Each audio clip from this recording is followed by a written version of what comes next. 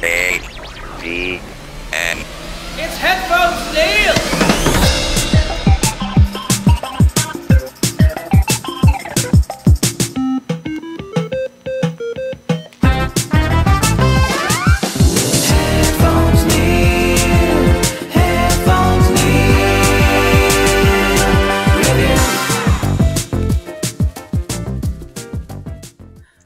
What's up, guys, and welcome back to another episode of Headphones Neil Reviews. I'm your host, as always, Headphones Neil, with the or recording from the portable studios of however I record.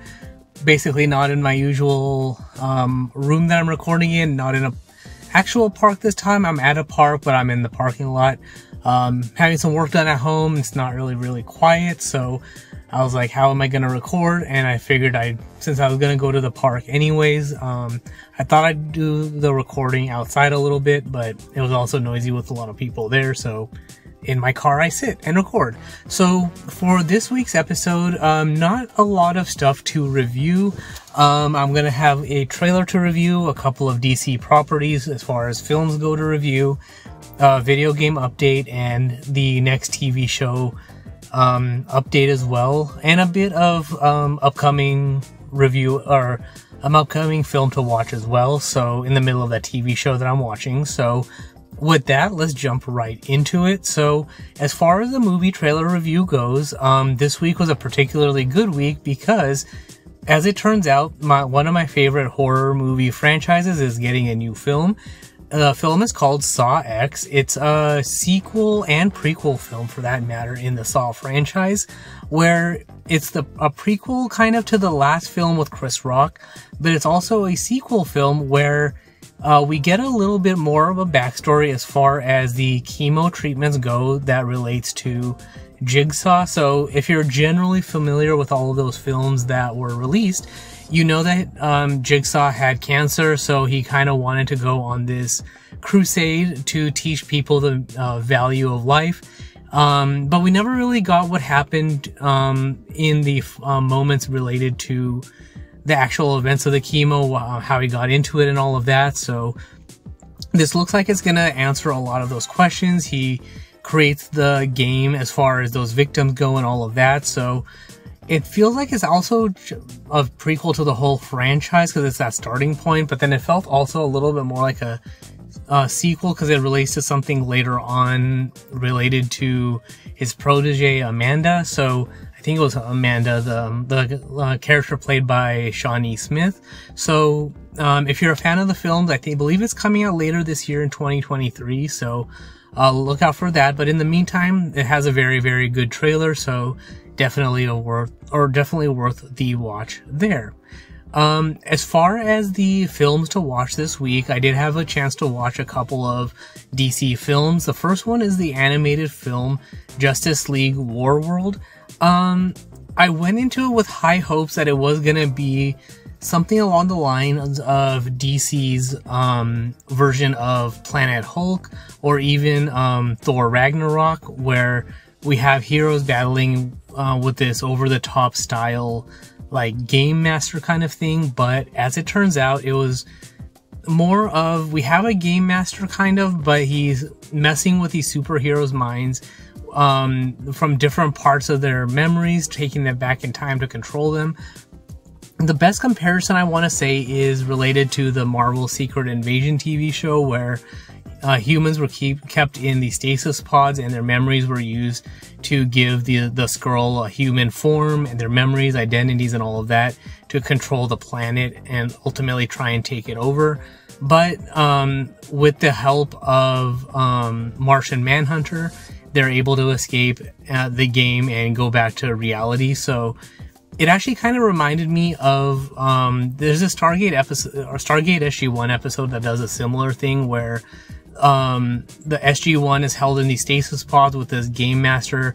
They keep going in these loops, and um, ultimately they make their way and they're able to escape. So Warworld was kind of like that. It was less a war world and more um, survival of the fittest, trying to escape, figure out what's going on, and escape. More like I guess it was a mix of like um, Marvel's Secret Invasion with a little bit of Matrix going on, I guess. Like, escape what you think is your reality to what is actually reality. So, it was an okay film. I probably give it a grade of about 70%. The early parts of the film, uh, where they're in different um, time periods, was good. It was a really slow burn, but ultimately, that was actually the better parts of the film merging the characters was actually good enough, but the ending didn't really last. The transitions were not that great, so that's kind of why it was a, it's a hard film to get behind. Um, the other film I had a chance to finally watch is the film The Flash. So it's a film that's loosely based on the Flashpoint paradox, where Barry Allen goes back in time to try and save his mom, but uh, but ultimately breaks the timeline and creates different realities and versions of events that happened. So, in trying to create to save his mom, he cr- makes the situation worse. So it's um, save his mom on one hand and break reality on the other. Um, so for me, overall, I actually thought it was really good. I did actually want more Barry Allens uh, rather than just the two that we got. Um, and I want to say almost that three would have been good, like Spider Man, was it Far From Home, whichever the last one was with all three eras of Spider Man in it. So it would have been nice to have maybe one more Spider Man to even out, even it out, but um, but then also maybe spend a little bit more time. Uh, time jumping to have more time with the Batman. So that was actually the highlight of the film where we got to see a younger looking ba- uh, Ben Affleck, Ben Affleck in his bat suit, which looked really, really um, futuristic, advanced, high tech with the blue accents and all of that. So I thought that was particularly good. So it was nice to see uh, that going on. Um, and then when Barry Allen breaks the timeline, we get to go back in time, or not back in time, but to an alternate reality where we have an older version of Bruce Wayne played by Michael Keaton. So we get to have that um, that particular connection. So it was nice to uh, see him back in action, don the cape, uh, use a couple, um, mainly his biggest line in uh, "Do you want to get nuts?" But um, it was good to have him back in uh, that particular role, uh, mentoring Barry Allen from his point of view. And um, all of that. Um, granted, we weren't going to get Penny out or Penny um, not Penny, but Alfred Pennyworth. Um, I believe that actor died, so it would have.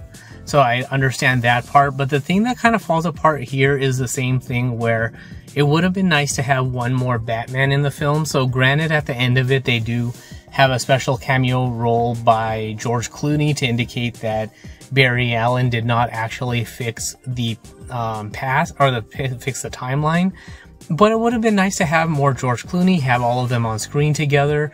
Um, just like I, an outside perspective for me, Michael Keaton and George Clooney would have been an interesting combination to have on screen together to act together as Batman.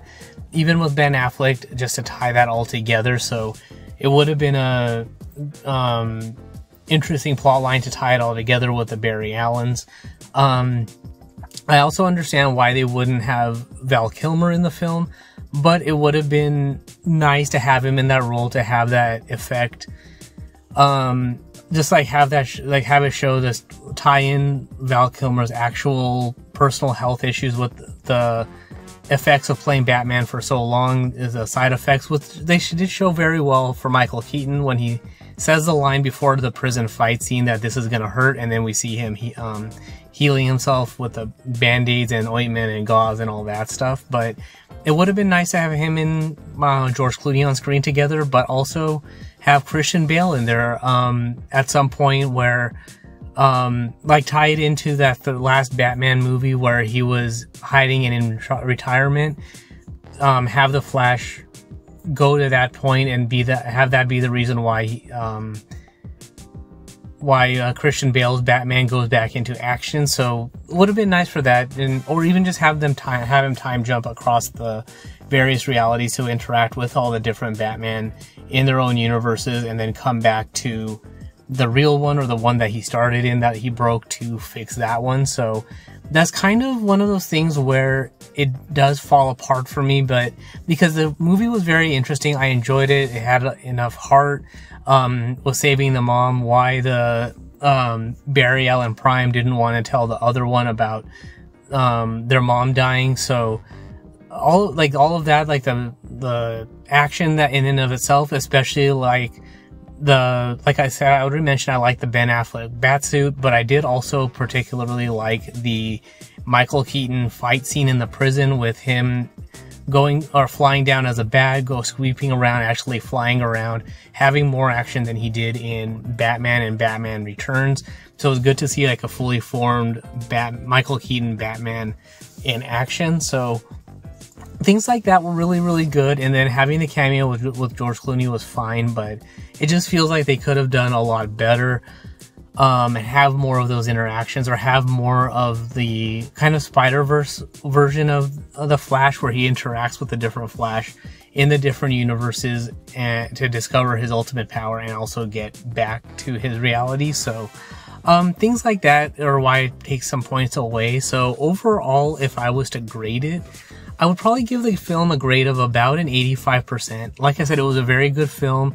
The beginning parts had lots of color, especially with Wonder Woman's cameo, um, Ben Affleck's Batman, uh, having seen the original Batmobile from the Michael Keaton era, and the Flash's red suit. So all of that was good. Just it feels like they didn't take it um, a step further to do a lot more than they could have or that they had done. So um, that's why I give it a few less points. But then also because of I guess the production hell that I went through, it's kind of understandable why they couldn't or why they didn't do as much as they could have because of all of that. So they ultimately just wanted to get a film out. They had to at some point cut their losses and stop making it, I guess, a money pit for the film and ultimately get it released. Um, so with that being said, that's the bulk of that. So I am also continuing to play um, Brutal Doom, the mod um, the mod that you add to the original Doom, in this case, Ultimate Doom. Um, I did finish the first episode, so now I'm about halfway through the second episode, so um, or a little bit more than halfway through the second episode. So I've gotten through a few of the chapters and the secret level. So I'm almost done and getting to the point of meeting. I believe the second um, episode has a cyber demon. I forget if it was the second or third one. I think it was the second one, but um, so I'm almost done with the second episode. So, um, um, continue to follow along on the YouTube channel there. So I'll have my final review of that when I'm done. But overall, I'm really enjoying the gameplay and the graphical upgrade and performance updates and the weapons and animations and gore and all of that stuff. So definitely a fun gameplay there. Um, as far as the TV show update about what I'm watching next, I'm finally deciding that I'm going to try and get through the um, get through a rewatch of Stargate SG1. I know I still have not finished Stargate Atlantis, so I figure at some point I'll continue watching that. I think I'm still in the middle of season two, but I remember why I didn't continue is just that it gets really, it gets more serialized and dramatic than anything else, whereas um, Stargate SG-1, while it started with, it was very episodic and serialized, but even with all the stuff they had with the Goa'uld, they were able to expand it. There was a lot of discovery and exploration and fun going on. With Atlantis, there's still a lot that it feels like there's just way too much that happens on Atlantis. Going around, there's not too much other exploration or scientific discoveries or anything like that. So it kind of feels like they're limited, limited, limited themselves with um, staying on Atlantis and then learning about the Wraith, and everything else is peripheral, extra white noise kind of stuff. So, uh, regardless, that's why I'm giving Stargate SG1 another watch. I figure a couple episodes a day should make it go by pretty quickly for 11 seasons or whatever, but we'll see if that falls apart, you know, by the end of the first or second season. But figured I'd give that a try, see if I can get through that. But in the meantime, also, I learned that Guardians of the Gar- uh, Galaxy Volume 3 is now available for streaming on Disney Plus. So I'm hoping by the next episode to have watched that movie to review it. I have not seen it yet. I haven't really been spoiled on what happens in it. So um, I am planning on giving it a watch to see how it is. Um, so look out for that. Um, hopefully next week, maybe the week after. I might even try and wedge it in maybe in between um, my gameplay of Doom between episodes two and three. But regardless, I'm gonna give it a watch, see how it is, see if um, see how it kind of compares to the first and second films. So that is actually all for this particular episode. So if you have any questions, comment, feedback, or anything like that, you can comment on this post on social media. All the links are up on the website at headphonesneil.reviews, along with past episodes, subscription links, uh, supporting the show, and all of that good stuff. Uh, patrons get early access to the show along with um, ad-free versions of the episode, which is up on the which get which is all on the Patreon at patreon.com slash pateln01. But that is all for this particular episode. Thanks for tuning in, and until next time.